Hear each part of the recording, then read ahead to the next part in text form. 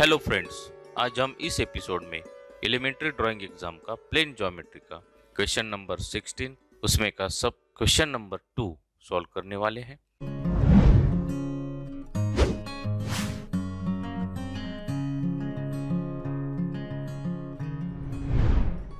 आज का यह क्वेश्चन इंग्लिश और हिंदी लैंग्वेज में एक्सप्लेन होगा। आपको ड्राइंग एग्ज़ाम गाइड इस चैनल को सब्सक्राइब करना है, पास वाले बेल आइकन को ऑल क्लिक करना है। अगर वीडियो आपके समझ में आता है और आपको अच्छा लगता है तो लाइक और शेयर भी करना है। प्लेन ज्योमेट्री का क्वेश्चन सॉल्व करने के लिए आपके पास राउंडर इसे कंपास भी बोलते हैं स्केल और पेंसिल इन ज्योमेट्रिकल इंस्ट्रूमेंट की आवश्यकता है। आज हम इंग्लिश हिंदी और मराठी लैंग्वेज में क्वेश्चन देखेंगे। आपको स्क्रीन पर क्वेश्चन दिखाई दे रहा है। उसका अच्छी तरह से ऑब्जर्वेशन करना है और उसे समझ लेना है। English question, section 4th, circles and polygons. Example number 16, sub example number 2, to construct a regular heptagon with one of its side given. Question, construct a regular heptagon with one of its side 4 cm long. Hindi प्रश्न विभाग चौथा वृत्त और बहुभुज उदाहरण सोलवा सब उदाहरण number दूसरा एक नियमित सप्तभुज की रचना करना जिसकी एक भुजा दी हुई हो। प्रश्न, एक समसप्तभुज की रचना करना, जिसकी एक भुजा की लंबाई चार सेंटीमीटर है। मराठी प्रश्न, चार सेंटीमीटर बाजू असणारा नियमित सप्तकोण काढा? इस प्रकार से क्वेश्चन नंबर सिक्सटीन उसमें का सब क्वेश्चन नंबर टू को हमने इंग्लिश हिंदी और मराठी लैंग्वेज में देखा है। अब इसे हम सॉल्व करेंगे। बच्चों क्वेश्चन में दिए गए अनुसार चार सेंटीमीटर जिसकी साइड है, जिसकी भुजा चार सेंटीमीटर है ऐसा हमें हेप्टेगॉन सप्तकोण निकालना है।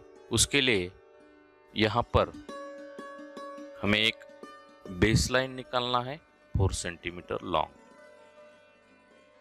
इसे नाम देना है ए बी जैसे हमने पंचकोण पेंटेगॉन को ड्रॉ किया है, वही मेथड वही प्रोसेस यहाँ पर यूज़ करना है। अब हमें ए बी लाइन के दो इक्वल पार्ट बनाने हैं बाइसेक्ट बनाने हैं यहाँ पर एक परपेंडिकुलर निकालना है, उसके लिए कंपास का राउंडर का स्टील वाला पॉइंट ये पॉइंट पर रखकर कंपास में हमें अप्रोक्सीमेटली डिस्टेंस लेना है और एक ऊपर वाले हिस्से पर और एक नीचे वाले हिस्से पर आर्क बनाना है। उसके बाद उसी डिस्टेंस से, उसी रेडियस से इन दोनों आर्क पर और दो आर्क बनाने हैं। दोनों आर्क एक दूसरे को यहाँ पर क्रॉस हुए हैं, वहाँ पर पॉइंट लेना है। ये पॉइंट ये आर्क लाइन बहुत ही केयरफुली लेना है। हर स्टेप स्टार्ट से केयरफुली करना है। उसके बाद ही आपका एग्ज़ाम्पल आपको इजीली सॉल्व होगा। ये जो परपेंडिकुलर की लाइन है, इसे ज़्यादा ऊपर तक ड्रॉ करना है इस प्रकार से। उसके बाद यहाँ पर एक नाम देना है पी क्योंकि इस परपेंडिकुलर ने ए बी लाइन को यहाँ पर क्रॉस किया है। वो ए बी लाइन का सेंटर पॉइंट हो गया। उसके बाद यहाँ पर एक सेमी सर्कल हाफ़ सर्कल निकालना है। पी पर कंपास का स्टील वाला पॉइंट रखना है।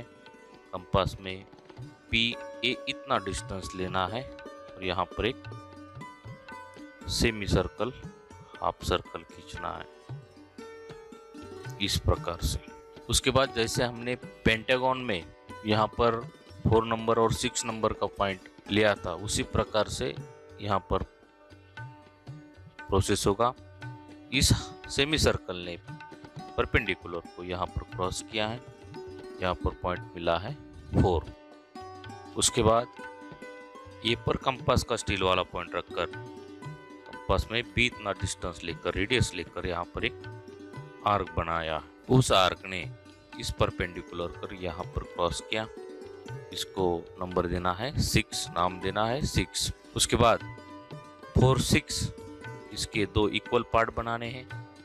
इस प्रकार से कंपास में जो डिस्टेंस लिया है, वो फोर सिक्स के हाफ़ से थोड़ा ज़्यादा अप्रोक्सीमेटली लिया है।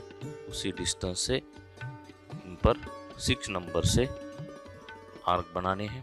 दोनों आर्क एक दूसरे को यहाँ पर क्रॉस हुए हैं। वहाँ पर पॉइंट लेना है, इसे जोड़ना है।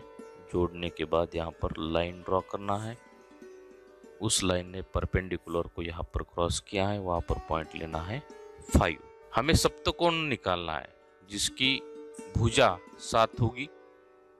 तो फोर पॉइंट से हम स्क्वायर निकाल सकते हैं फाइव पॉइंट से हम पेंटेगोन निकाल सकते हैं, और सिक्स पॉइंट से षटकोण निकाल सकते हमें निकालना है हेप्टेगोन यानी सप्तकोण। तो हमें सेवन नंबर का पॉइंट यहाँ पर ड्रॉ करना है। उसके लिए हमें फोर और फाइव उसके लिए हमें फोर और फाइव इतना रेडियस कंपास में लेना है और सिक्स पॉइंट पर कंपास का स्टील वाला पॉइंट रखकर यहाँ पर एक आर्क बनाना है। पॉइंट लेना है और इसे नाम देना है सेवन और इसे नाम भी देना है ओ, क्योंकि ये हमारे हेप्टेगॉन का सेंटर पॉइंट हो गया। बच्चों, अब हमें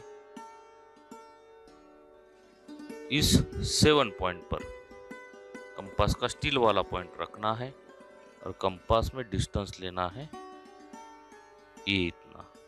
और यहाँ पर एक सर्कल निकालना है। इस प्रकार से। अब ये भी इतना कंपास में डिस्टेंस लेके यहाँ पर हमें ऐसा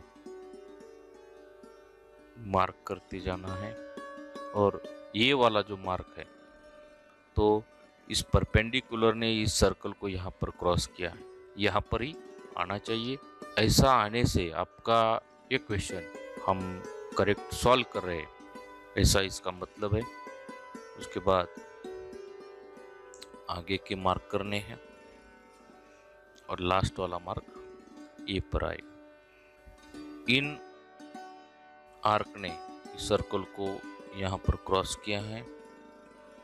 वहाँ पर पॉइंट लेना है। इस पॉइंट को नाम देना है सी डी ई एफ़ और जी अब हमें सी लाइन को जोड़ना है। उसके बाद डी उसके बाद डी को जोड़ना है। उसके बाद एफ़ उसके बाद एफ़ जी और ए जी इस प्रकार से हमने इस हेप्टागोन को ड्रॉ किया है। बच्चों आपको इसकी ज़्यादातर प्रैक्टिस करना है।